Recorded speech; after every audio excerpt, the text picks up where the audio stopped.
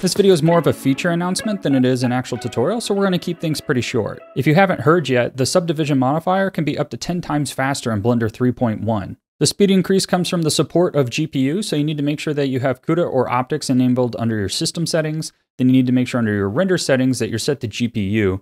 And then in order for this to work, subdivision needs to be the last modifier in your stack, meaning it needs to be at the bottom. I personally use subdivision a lot to add displacement to my objects with textures, and I did some render tests, and honestly, I didn't really see a difference with displacement.